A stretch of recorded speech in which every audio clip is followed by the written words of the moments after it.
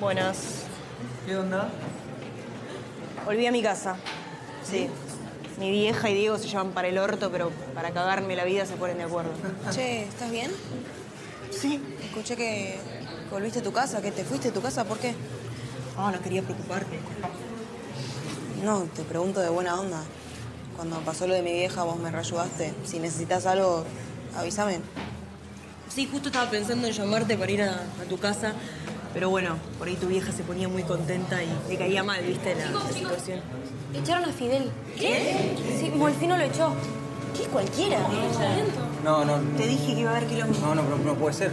La verdad que me parece un pesado, pero ya me estaban empezando a gustar sus clases.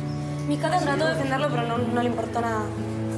Señores, se acomodan en sus lugares, por favor, inmediatamente. Guardan los celulares.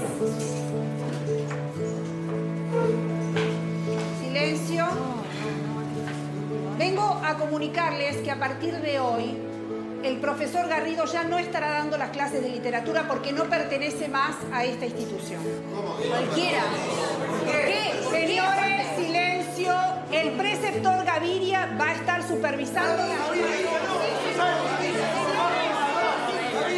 Hacen silencio, por favor. Él va a estar supervisando las clases para que podamos seguir adelante con el programa.